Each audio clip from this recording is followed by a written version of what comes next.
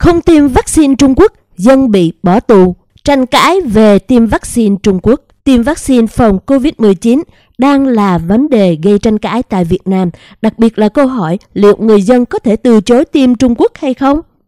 Việt Nam hiện đang đẩy mạnh việc tiêm vaccine giữa lúc đại dịch diễn biến phức tạp tại nhiều nơi, đặc biệt là tại thành phố Hồ Chí Minh, nơi hầu như số lượng ca bệnh và tử vong đã vượt ngoài tầm kiểm soát. Vaccine được coi là giải pháp bền vững hơn so với các biện pháp dập dịch trước đây. Tuy nhiên, bên cạnh bài toán thiếu nguồn cung, việc tiêm vaccine tại Việt Nam đang gây ra nhiều tranh cãi về bất bình đẳng cũng như về quyền quyết định tiêm hay không tiêm của người dân. Trao đổi với BBC News tiếng Việt, ngày 1 tháng 8, luật sư Phùng Thanh Sơn, giám đốc công ty luật thế giới luật pháp bình luận, Tôi nghĩ việc tiêm vaccine là tự nguyện, không nên ép buộc, ngay cả khi chương trình tiêm chủng quốc gia mặc dù nói là bắt buộc, nhưng cũng không thể chế tài đối với người không tiêm. Về nguyên tắc, công dân được quyền tự do định đoạt tính mạng, sức khỏe của mình nhưng không ảnh hưởng đến người khác. Nếu người khác sợ những người không tiêm vaccine sẽ ảnh hưởng đến họ thì họ cứ đi tiêm để không bị nhiễm. Nhưng câu hỏi được đặt ra là nỗi băn khoăn của nhiều người đó là nếu bắt người dân tiêm mà có biến chứng thì nhà nước có chịu trách nhiệm không? Tiêm vaccine nào? Tại Việt Nam hiện có các loại vaccine của AstraZeneca từ châu Âu, Pfizer, Moderna từ Mỹ và Sinopharm từ Trung Quốc. Việc ai được tiêm loại vaccine nào đang là vấn đề gây tranh cãi và có khi nhiều ý kiến cho rằng người dân thường sẽ phải tiêm bất kỳ loại vaccine nào có sẵn. Ở đây được hiểu là vaccine Trung Quốc. Trong khi người có đặc quyền sẽ có thể chọn vaccine theo ý muốn, ở đây là châu Âu và Mỹ. Trước đây tôi thường yêu cầu các quan chức công khai tài sản, bây giờ tôi không còn yêu cầu này nữa mà có yêu cầu mới, hãy công khai loại vaccine mà quý vị và gia đình quý vị đã tiêm phòng. Doanh nhân Nguyễn Thiện từ thành phố Hồ Chí Minh viết trên Facebook cá nhân. Vào ngày 31 tháng 7, công ty dược Sài Gòn tại thành phố Hồ Chí Minh đã nhập về 1 triệu liều vaccine Verocell của Sinopharm. Đợt đầu tiên trong lô hàng 5 triệu liều, điều này một lần nữa gây ra tranh cãi. Khi trên mạng có nhiều ý kiến cho rằng trong Hà Nội có thể được chọn giữa các loại vaccine của AstraZeneca, Pfizer và Moderna – thì nhiều người dân thành phố Hồ Chí Minh bị bắt buộc phải dùng vaccine Trung Quốc bên cạnh các loại vaccine kia. Khi bình luận về điều này, doanh nhân Nguyễn Thiện viết đầy mỉa mai theo báo Thanh niên từ 27 tháng 7, toàn bộ các phường xã trên địa bàn Hà Nội bắt đầu chiến dịch tiêm chủng vaccine phòng chống COVID-19 lớn nhất lịch sử cho hơn 5 triệu dân, bao gồm 3 loại vaccine gồm AstraZeneca, Pfizer và Moderna. Trước đó, báo Việt Nam Net có bài tiêm vaccine không nên kén cá chọn canh. Đúng rồi, AstraZeneca, Moderna hay chích đại Pfizer cũng được chứ kén chọn gì. Người dùng Facebook Trần Duy Cảnh nêu ý kiến, Việt Nam muốn đưa vaccine Trung Quốc vào sử dụng thì nên cung cấp thông tin nhiều hơn cho dân.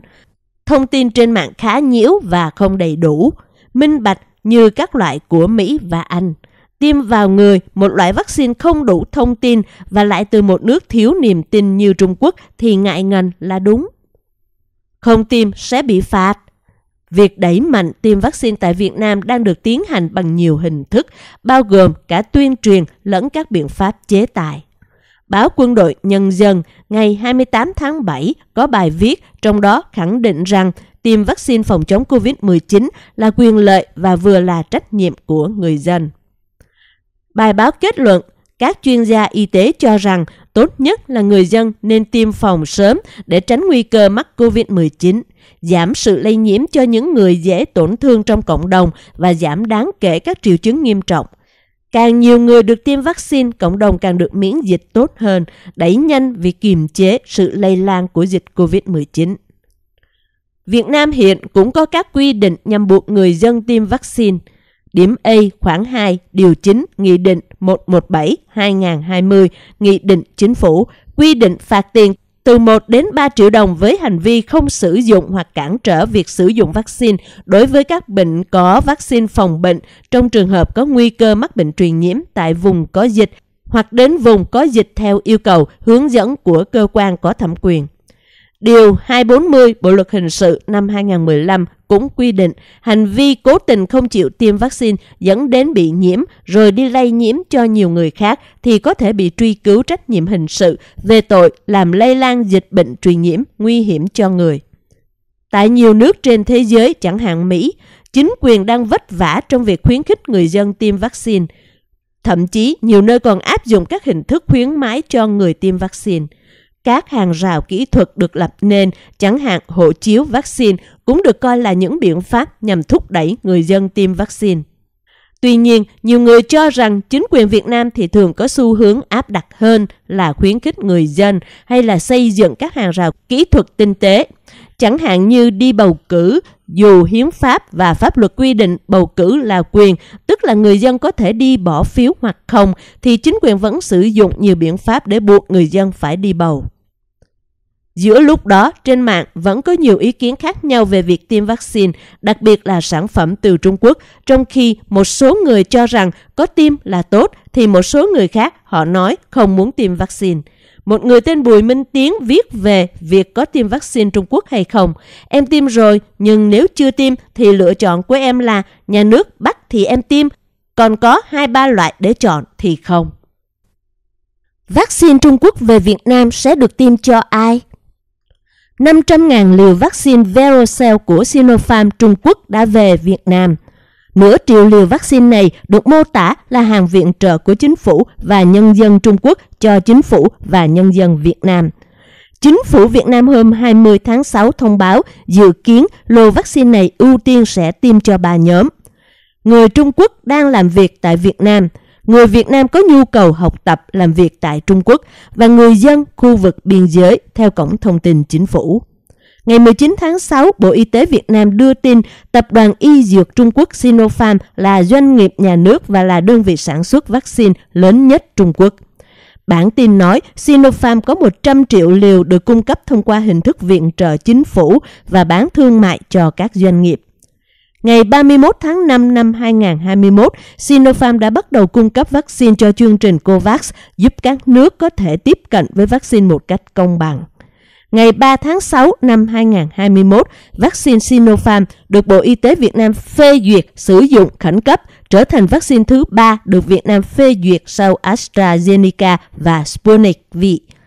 Được biết, Sinopharm đã thành lập văn phòng đại diện tại Việt Nam vào năm 1993, xây dựng doanh nghiệp sản xuất liên doanh vào năm 2003.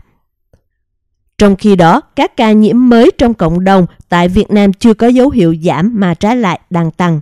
Tổng số ca nhiễm trong cộng đồng trên toàn quốc tính từ 27 tháng 4 tới tối ngày Chủ nhật 20 tháng 6 là 9.944 ca và có 66 ca tử vong liên quan tới COVID.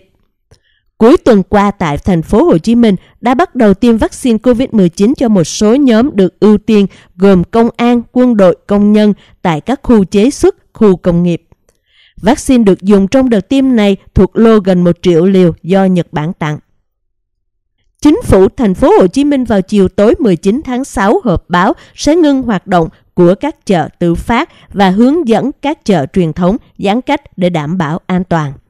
Tại họp báo, ông Từ Lương, Phó Giám đốc Sở Thông tin, Truyền thông thành phố Hồ Chí Minh cho biết tình hình dịch bệnh COVID-19 ở thành phố Hồ Chí Minh còn diễn biến phức tạp, số ca nhiễm mới những ngày gần đây lần đầu tiên vượt qua 3 con số. Tình hình dịch bệnh COVID-19 ở thành phố Hồ Chí Minh còn diễn biến phức tạp, số ca nhiễm mới những ngày gần đây lần đầu tiên vượt qua 3 con số. Dự báo trong tuần tới sẽ có nhiều ca nhiễm trong cộng đồng, đòi hỏi các ngành các cấp phải tập trung phòng chống dịch. Trong tuần cao điểm, ông Lương nói.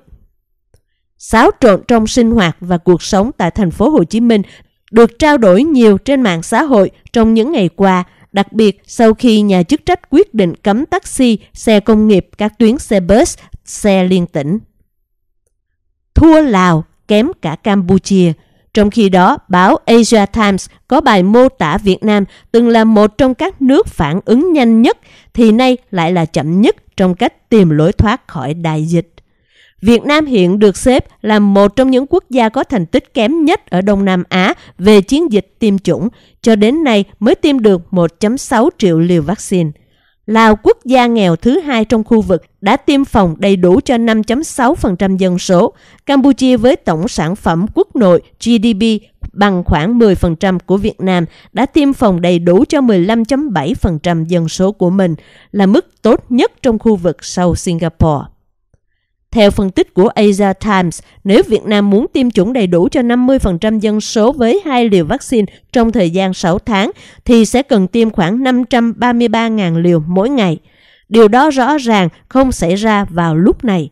Tác giả David Hurt viết trong bài đăng ngày 18 tháng 6, Việt Nam là nước Đông Nam Á cuối cùng phê duyệt vaccine Sinopharm trong bối cảnh vội vàng vào ngày 3 tháng 6.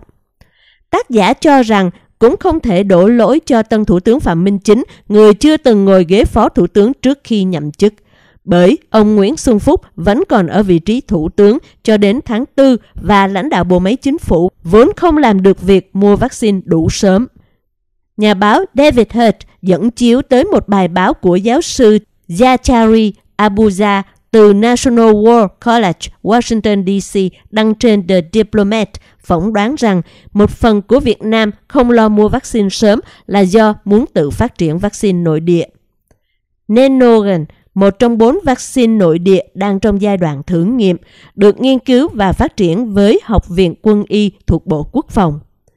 Việt Nam sẽ vượt qua khó khăn mặc dù có cú vấp gây sửng sốt. Giáo sư Abuja viết, nhưng đối với một chế độ đã sử dụng đại dịch để củng cố tính chính danh của mình, đợt bùng phát dịch mới và việc triển khai vaccine còn yếu kém đã làm hoen ố uy tín của họ. Quý vị và các bạn vừa theo dõi bản tin vaccine Trung Quốc về Việt Nam sẽ được tiêm cho ai do Ý Nhi Thời báo.di trình bày. Cảm ơn quý vị và các bạn. Hẹn gặp lại vào bản tin lần tới. Từ Berlin, Cộng hòa Liên bang Đức. Chào tạm biệt.